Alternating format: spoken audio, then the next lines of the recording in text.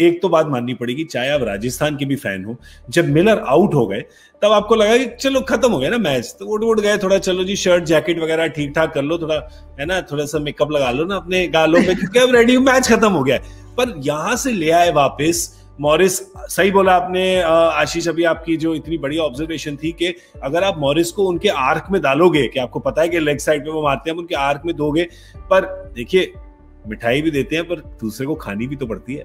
और खाई आज मॉरिस ने, और बढ़िया खाई। और मैच के बाद उन्होंने ये भी कहा कि, अजय भाई, कि देखिए, कई लोगों को बल्लेबाजी के लिए लिया जाता है, कई लोगों को स्लॉगिंग के लिए लिया जाता है। मैं जानता हूँ, मुझे किस लिए लिया गया। भाई, देखिए जिसके लिए भी लिया गया है, बल्लेबाजी तो आज पूरी करके दिखाई है उन्होंने। उसमें कोई डाउट नहीं है, क्योंकि मैं, एक टाइम जब मिलर भी आउट हुए तो मेरे को मिलर जब खेल रहे थे, मेरे को लगा था चांस फिर बन गया। फिर जब वो आउट हुए तो लगा कुछ नहीं। थोड़ी सी होप ना इनके साथ उनटकट जिन्होंने गेंदबाजी तो बहुत अच्छी की है। एक बड़ा क्रूशल छक्का मार के गए। शुरू वहाँ से हुआ फिर इन्होंने जो किया है। और इसीलिए इनको आंका जाता है या इतने पैसे मिलते हैं या लोग मानते हैं कर सकते हैं। मैं हमेशा क्वालिटी टॉप बॉलिंग और टॉप बैटिंग को मानता हूँ बहुत ज़्यादा। ये काम ज़रूर आते हैं और आज ये वो मतलब जो होता है ना कि कॉइन के दो साइड होते हैं। ये कॉइन का कि भाई सात नंबर वाला भी बना के आठ नंबर वाला भी आपको बना के जिता के चला गया है और वो प्रूफ है। तो इसमें कोई डाउट ही नहीं है। लेकिन गेंदबाजी तो इनको करनी पड़ेगी ना। आज भी गेंदबाजी। अभी जो आपने एग्ज़ाम्पल जो दिया है वो दिल्ली के लिए आपके सामने और खास तौर पे इस ग्राउंड पे हेटमायर और अमित मिश्रा। हम्म। और या फिर ललित यादव और टॉम करन हम्म। तो आप डिसाइड कर लीजिए।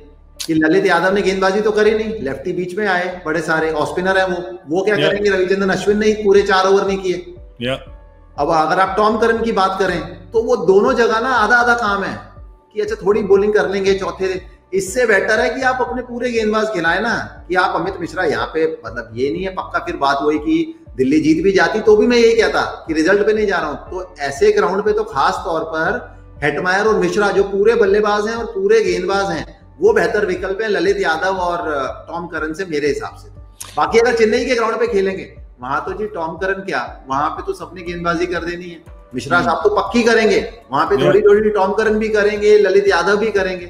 पर ना टॉम करन की बल्लेबाजी उतनी काम आएगी ना ललित यादव की। हेटमायर की बल्लेबाजी का चांस ज़्यादा है। अजय भाई राजस्थान इस जीत से कितना कॉन्फिडेंस लेके जाएगी? आई थिंक बहुत कॉन्फिडेंस मिलेगा। अगर कोई यू नो डाउट भी थे माइंड में, वो निकल जाएँगे। एक आपका क्या हो गया कि नहीं तो आप जब शुरू करते हैं एज अ राजस्थान टीम आप बेन स्टोक्स के बारे में मानिए, अगर आउट ऑफ़ फॉर्म भी हो, जो कि मुश्किल नहीं है, पिछले साल थे, फिर भी आप बदलाव नहीं कर सकते थे, उन्हीं के अंदर आप खिलाते रहे उनको। तो वो एक प्रॉब्लम हट गई है मिलर आ गए हैं, अलग, और फॉर्म में आए हैं। यू नो मॉरिस को आपने खिलाना ही खिलाना था, वो स्टार्ट हो गए हैं। संजू सैमसन पहली इनिंग पहले मैच में रन बना के गए तेवतिया का पिछले साल का है। तो आई थिंक ये जो विन है ना ये बहुत इंपॉर्टेंट है इनके लिए पूरी कैंपेन के लिए। हम्म। इससे यू नो जो टर्न अराउंड गेम्स बोलते हैं ना वो यही है क्योंकि अगर अब भी टर्न अराउंड नहीं है क्योंकि अब क्या बैटिंग आपकी टेस्ट हो गई। जब मुश्किल में थे एक दिन आप क्लोज आके हार गए थे लेकिन अगले दिन ओवर द लाइन तो माइंडसेट पॉजिटिव और गेंदबाजी जो उन्होंने आज की है वो उसकी वजह से ये मैच इतनी आसानी से जीत के गए। और और जैसे आशु ने पहले भी कहा था कि ये उनकी गेंदबाजी के लिए कंड्यूसिव विकेट नहीं थी। हम्म। ये स्लोर वन वाली नहीं वो वो चेन्नई है। तो विपरीत कंडीशंस जो है आपकी टीम की उसके बावजूद आप जीत के जब निकल के चले जाए ना तो वो आपको बहुत ज़्यादा कॉन्फिडेंस देता है। तो ये विन तो यू नो पंप करेगी। और शुरू शुरू में ऐसा मनोबल का जो विटामिन इंजेक्शन लगाया संजू सैमसन ने कहा कि कह रहे थे जब बयालीस पर पाँच था तो हमें लगा था कि हम ये मैच हार गए हैं पर मुझे उम्मीद थी क्योंकि मिलर और मॉरिस और कह रहे मुझे थोड़ी सी उम्मीद थी पर ये जो जो जीत हमने करी और, और एक और बात उन्होंने कही है कि स्टिकी थी थोड़ी सी विकेट। कह रहे थे कि थोड़ी सी जो है वो चिपक रही थी पर विकेट पे चिपक गए मिलर और ले गए राजस्थान को दो अंकों की तरफ़ और एंड में थोड़ा सा चिपक गए अपने क्रिस मॉरिस भी। और लास्ट बात जो कहूँगा, जो संजू सैमसन ने कही, मज़ेदार। आई थिंक उनसे पूछा गया था कि अगर पिछला मैच आप रिप्ले करें तो क्या लास्ट बॉल पे वो सिंगल लेंगे? उन्होंने कहा, मैं फिर भी लास्ट बॉल पे सिंगल नहीं लूँगा। जो पिछला मैच चाहे हम हारे, मैं फिर भी अपनी डिसीज़न को बैक करूँगा। और इनफैक्ट मॉरिस ने भी ये कहा कि आई एम हैप्पी कि वही रहा स्ट्राइक पे, क्योंकि मैंने सिर्फ़ तीन या चार बॉलें खेली थी। वो सौ पे खेल रहा था।